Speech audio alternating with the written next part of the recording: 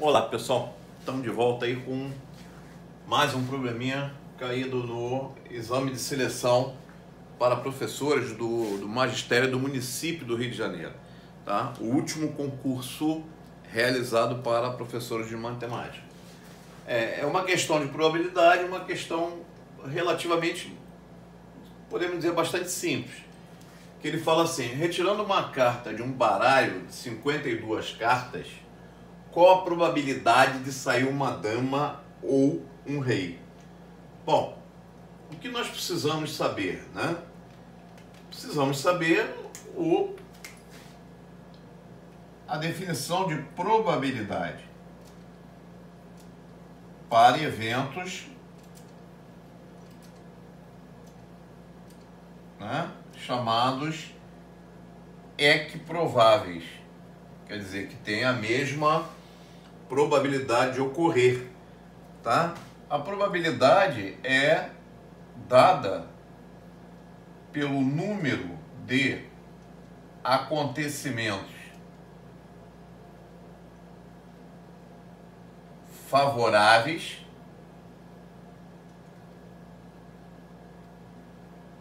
quer dizer, são aqueles acontecimentos né, que te favorecem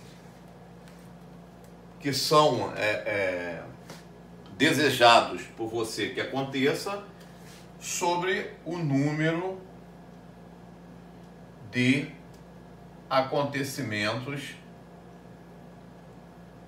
possíveis.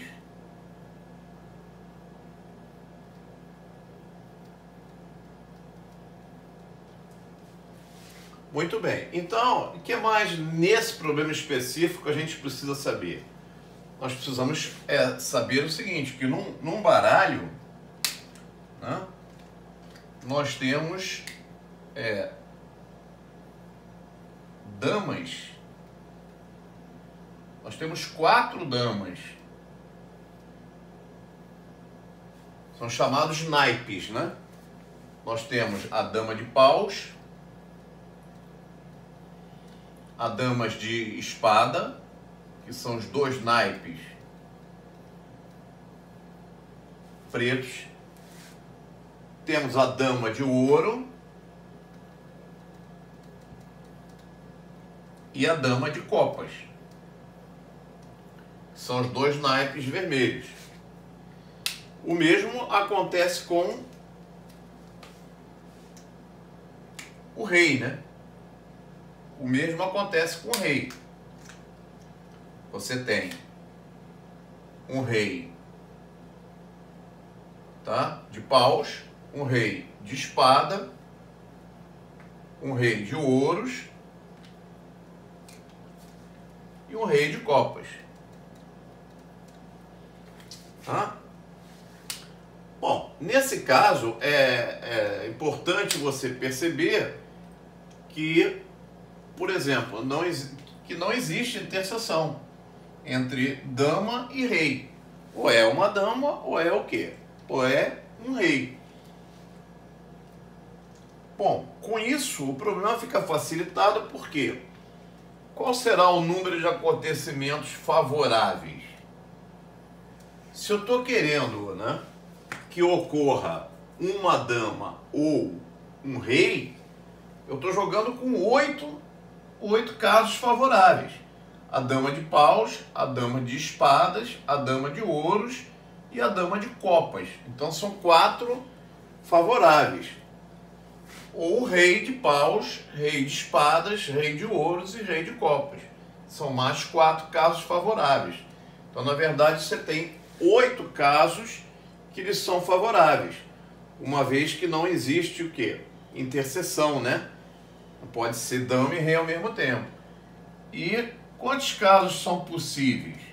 Possível nós temos 52 casos, porque são 52 o quê? 52 cartas.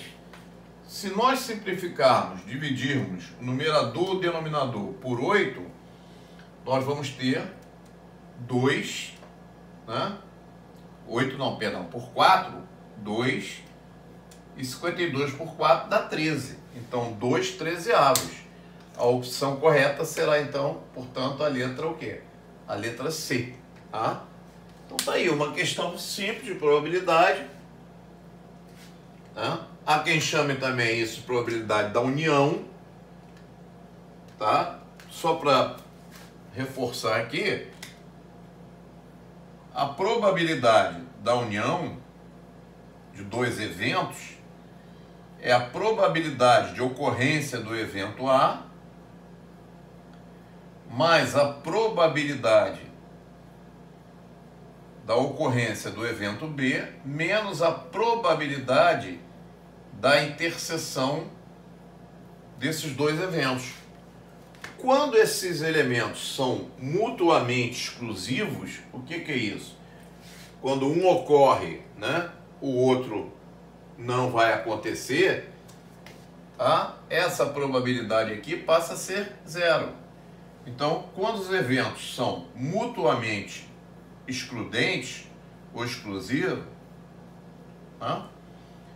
isso vai ser o P de A mais o P de B. Então poderia ser feito dessa forma também. Eu calcular a probabilidade de obter uma dama, que seria um trezeavos, mais a probabilidade de obter um rei, que seria um trezeavos. Então somando os dois daria dois trezeavos. Mas veja bem, isso aqui só quando os eventos são mutuamente exclusivos, tá? Quando eles não são é, mutuamente exclusivos, vale a fórmula de cima. Probabilidade da união de A com B é a probabilidade de A mais a probabilidade de B menos a probabilidade da interseção, de A interseção B. Se, por exemplo, fosse qual a probabilidade de sair uma dama ou uma carta de copas, aí eu estaria na situação de cima, porque eu tenho a dama de copas, então teria que descontar essa possibilidade. Bom, minha gente, espero que vocês tenham entendido o problema. Tá? Continue, né? Dando aquela força para o Intermate, tá? que ele está cada vez é, ganhando mais corpo, ganhando mais membros. Né? E a nossa intenção é cada vez prestar um serviço melhor para vocês, um serviço cada vez de melhor qualidade para vocês, abrangendo o maior número de concursos possíveis, tá bom? e de questões possíveis também. Nosso, nosso número de vídeos tem aumentado aos pouquinhos, tá? Hoje a gente já conta aí com cerca de 400 vídeos, à sua disposição, tá bom? Um grande abraço, até a próxima.